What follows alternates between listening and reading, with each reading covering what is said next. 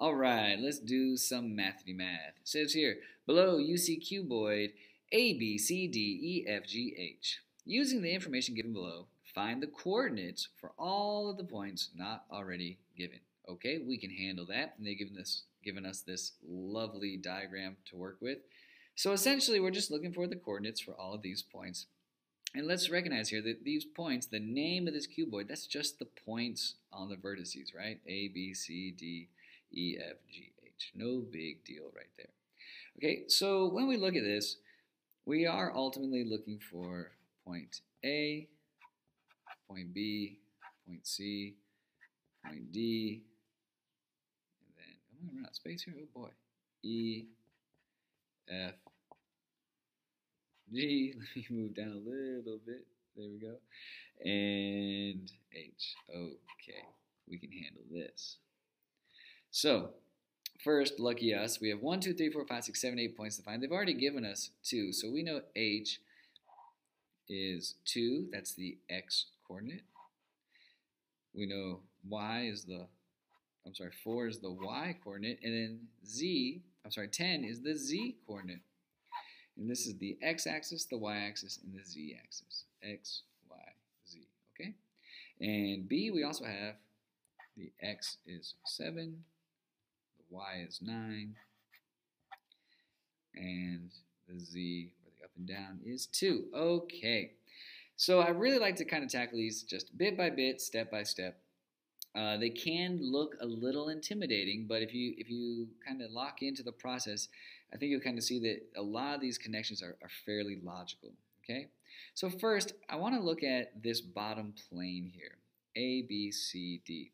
It's all flat and it's all level. And this tells us it's at two units up. That means it's, it's floating off the floor by about, I'm sorry, by two units.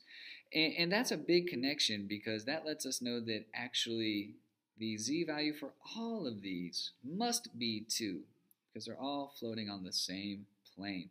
So actually, I'm just going to go ahead and put in the z value for A, B, C, and D because they're all floating on the same plane.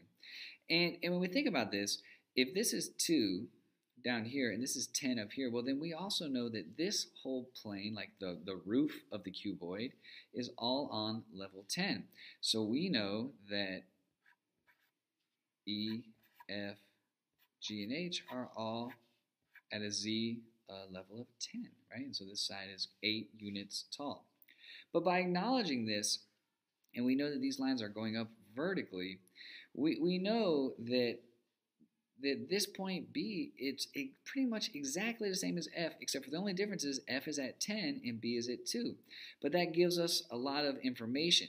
So we actually know that if B is at 7 on the X and 9 on the Y, F is also at 7 on the X and 9 on the Y, and the only difference is the Z. So actually we know now that F is going to be 7, 9, 10. So F is 7, 9, 10. I should have planned that better. I'm right on top of the diagram, but that's okay. So 7, 9, 10. And, and using this logic, let's go to H. We know H is 2, 4, 10, and it's right above D. Well, then we know D, the X is the same, that's 2. The Y is the same, that's 4. And the only thing that's different is the Z because it's down at 2. So this D value would be 2, 4, 2. Now we're cooking. 2, 4, 2. Okay, so we only have a couple more pieces of information, and we got it. Uh, let's come to B. So on B, uh, this line right here, it's saying they went down 2 on X, and that's where that line came across. Down uh, 2 on the X, right? So looking at this, ooh, down 2 on the X, what am I talking about? Excuse me, down 7. 2 is up here. Down 7. So it went 1, 2, 3, 4, 5, 6, 7. It came across and then it goes up 2. So this line, though, it, it would relate to 7 on the x, right? And It doesn't look quite lined up because it's floating above it. But this 7, this is essentially saying the 7 line. So if B's x line is on 7, then A's x line is on 7, right? Because it's a line on the same place. So we know that the x value for point A would be 7. And if we if we know that that's coming across at 7, then we would know the same story is true of here. So we know E is at 7. And that makes sense following the same pattern because E is directly above A. Let's kind of keep going around and keep building. Uh, here, okay, we see that the x value of h is at 2. Therefore, the x value at g must be 2. Because it comes like this. And we're going to use that same logic going this way. This is the y line, right? And the, we, do, we do tend to get confused on this sometimes because this line looks like it's following the x direction. And it is parallel to x, but it gets counted along the y. So to get this to this y value, they went over 1, 2, 3, 4. So that means for e, they went over 1, 2, 3, 4. Now looky for us, e is directly above a. So if e has a y value of 4, then a has a y value and this is the idea. We just go around and build and build and build. So the only thing left now is to fill in for C. So let's think about what we know about C. C is right here, and it is directly, oh, we also have to get G. Okay, so C is directly below G. So what that means, everything about C and G are going to be in common except for the Z. So we already have the 2 for G, so that means we have the 2 for C.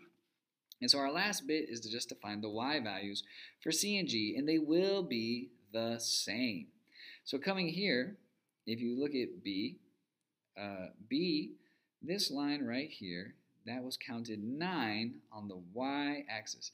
So this 9 went 1, 2, 3, 4, 5, 6, 7, 8, 9, and that's that line. So if B is 9 on y, and it comes up, then C is 9 on y, and because C is directly below G, that means G is also 9 on the Y. And then you did it. You found all of your points.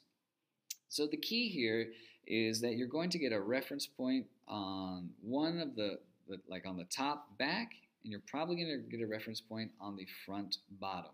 And if you have those, then you can find all of the points anywhere just by essentially finding relationships and, and knowing how they all that should do it. As always, subscribe below if you want to be notified when I make more practice questions. And if you have any comments or anything I did was too confusing, just uh, leave a comment below and I'll do my best to answer any questions you have. Thank you. Bye.